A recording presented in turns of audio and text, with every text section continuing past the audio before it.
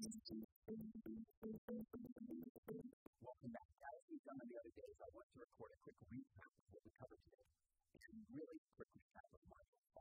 So before we do that, let's talk about what we did first. We talked about how to create really strategic marketing so that we can turn marketing into a predictable and consistent aspect of our business so we don't have to worry about revenue all the time. We also talked about sales, how to create really solid rapport, and how to communicate in a way that's really effective so we can have genuine influence. Then, then we talked about leadership.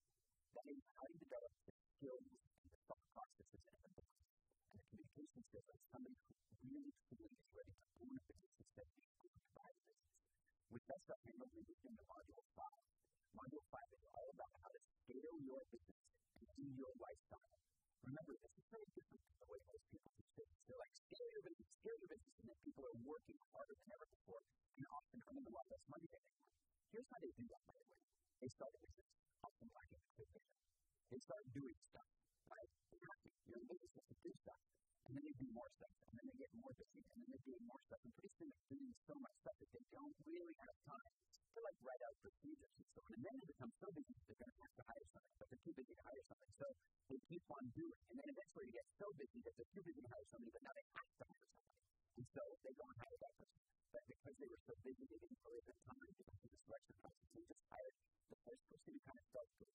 Hired that person didn't really have time to train that properly. They had previously had time to proceduralize it. And so they hire somebody who is nice and ineffective. That nice and ineffective person over the next couple of months takes money out of the company isn't necessarily all that productive. And then we much end up having to fire them. And these are some of the symptoms of the type of slavery. If we scale the business with a clear vision in mind, first, as we talked about in section of leadership, and then lay really solid foundations for this freedom, then we want to get good stuff. And so, this is what we do. We create a roadmap. We create a roadmap. It's an organizational chart looking thing. It doesn't have any names on it. It is simply an organizational chart with boxes that represent each of the areas that are in the business. Once we've created that map, which we've given you a template for, which you can either use or duplicate if it's not quite exactly the same business. Once we've done that, we move to the next step, and that is preparing to exit. I don't mean exiting the business, I mean the many exits that you have to go through to get out of those individual businesses. So how do you do that? You start with prioritization. You take a look at any of the boxes where you really dislike doing that work, and or you're not really good at it anyway. And you, you prioritize them first. Maybe you circle the direct, you know, triple answers. I want to quit these jobs too. Then you take a look at the jobs that you might want to quit shortly after that. And then the third level, the stuff that you're happy to do for maybe a couple of years, but you no longer to reflect something that as well. Once you've done that, it becomes time to start building really good systems and procedures. So step one is to look at each of the boxes in the business and create a list of all of the various processes that exist inside that box. So, for example, in accounting, some of the processes might include raising an invoice, paying bills, doing payroll, debt collection, and so on. In the warehouse, some of the processes might include shipping, receiving, quality assurance, and then subtracting. In the sales room, some of the processes might include making a sales call, answering a sales call, writing out the sales proposal, writing out sales order, and on. So for each of the boxes, you should have a list of the processes that make that box work. Then once you've done that, what you want to do is go in and proceduralize those processes. That is to say, write out in bullet point form or in descriptive form how that process happens. When we go to fix something, we go get a box. We put packing material inside the box. We put the equipment inside there, and then we make sure there's at least two inches of space between the equipment inside the box, and then we tape it up and we address label it, and we ship it off to this preferred supplier. Once we've done that with every one of our processes, you really have, in a your company's operational Bible and it knows how to operate. And I want you to consider how that impacts the training. Now, when you want to bring somebody in, you're training them right out of a playbook. You can show them this is exactly how we do it in this company. So go ahead do it. Was sitting here next to the questions time. It makes training way faster and way more effective. It creates a circumstance where very soon you don't even have to be the one doing the training. Inside that, we want to make sure that we're taking a look at having the right templates. If there are any documents that you use more than once ever, then you want to have a central repository or a central location for storing those documents so that they can be found and used again easily. If you want to get really technical about it, use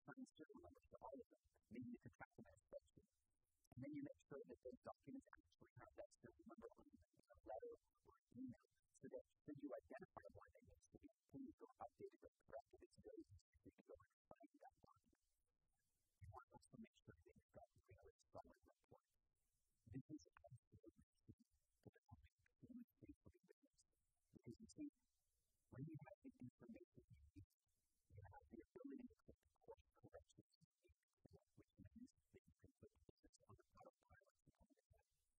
you have to have the business on autopilot, which means it's, it's running smoothly, it's operating, you don't necessarily need to be there all the time. Or you can really focus on the stuff that you love to do. But because you've got really good, comprehensive, detailed reports that are showing you what's happening in each role in each department, you have the confidence that things are running smoothly and you have the opportunity to find out when they're not so that you can make things work. And the last thing that we really want to think about is our psychology.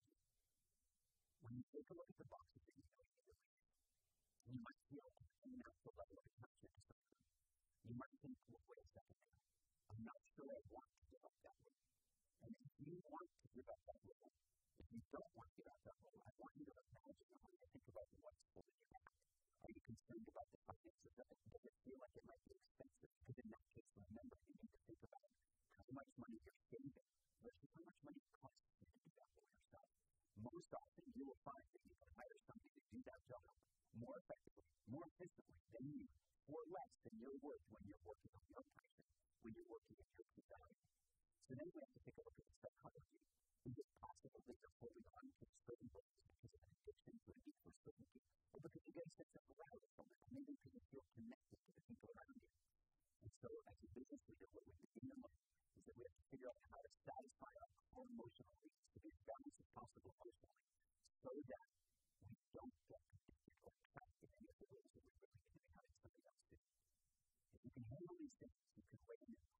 foundation for true business freedom. That's what this is all about. I hope you've enjoyed Business Freedom Foundations. I hope you enjoyed watching as much as I enjoyed recording. It's been a really, really fun time.